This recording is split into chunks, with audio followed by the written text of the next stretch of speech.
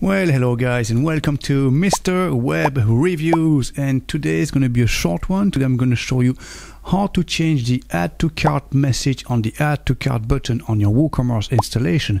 So I'm going to show you how to do this by installing a simple plugin and a small piece of code which I'm going to leave in the description below.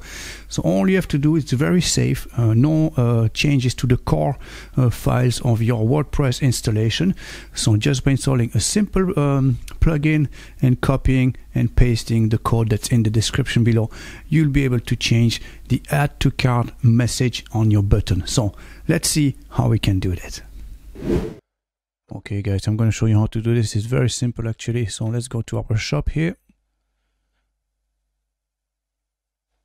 And as you can see, if I hover on top of any of those products, the button displays add to cart.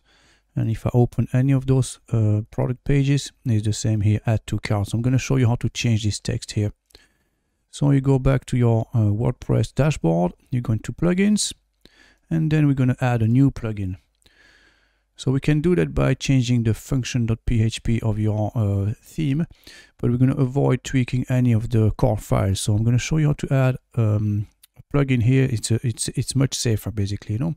So I'm going to add a plugin. So you look for code and snippet, just like that, code snippet.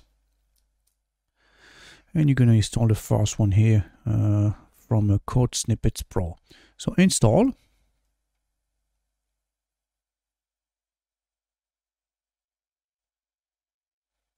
Activate.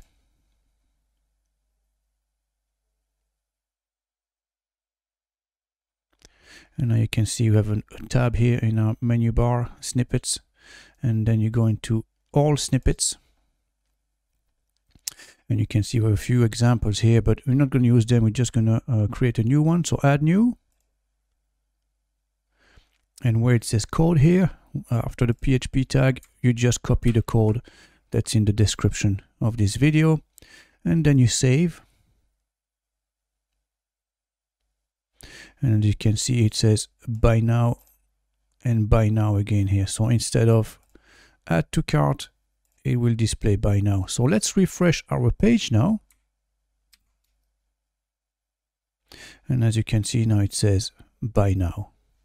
So if we go back to our shop, it's the same here. Our products now display buy now. So you can customize this text to make it your own and change it whichever you want. So basically you change this uh, content here. Instead of buy now, you could put something else, purchase now or register now, whatever you want, like, you know. So there you go, guys. That's all there is to it. Very simple indeed. Well, there you go, guys. That's all for today. I hope you found this helpful. If so, please consider subscribing to this channel and don't forget to hit the bell so you won't miss a single update. Thanks for watching and I'll see you guys in the next video.